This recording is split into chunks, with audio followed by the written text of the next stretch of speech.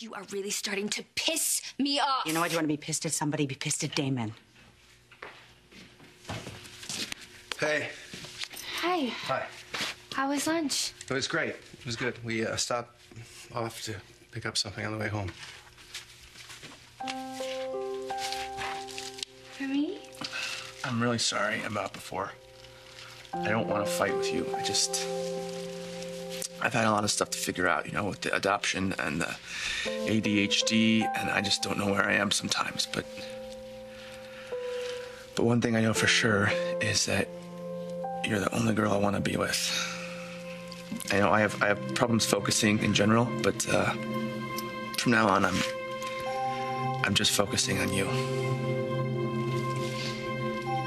I wanted to buy my Uncle Palmer's company, show my father I have what it takes. Am I going to be doing this the rest of my life? One of these days, you'll realize that you do not have to keep driving so hard. You're already there. You have a lot to be proud of, JR. You don't have to keep trying to prove yourself to Adam or to anybody else.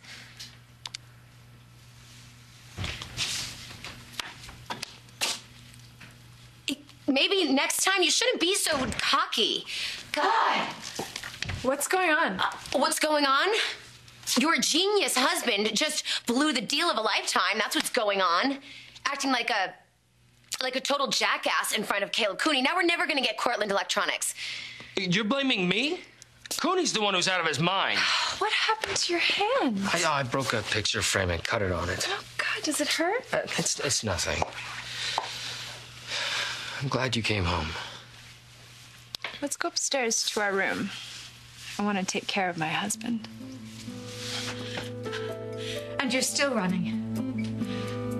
What is it about you? You cannot just look somebody in the eye and have an honest, civilized, adult conversation. No more talk!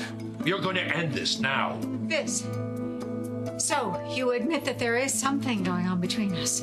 You have driven me to the edge. There's nowhere else to go. This the room?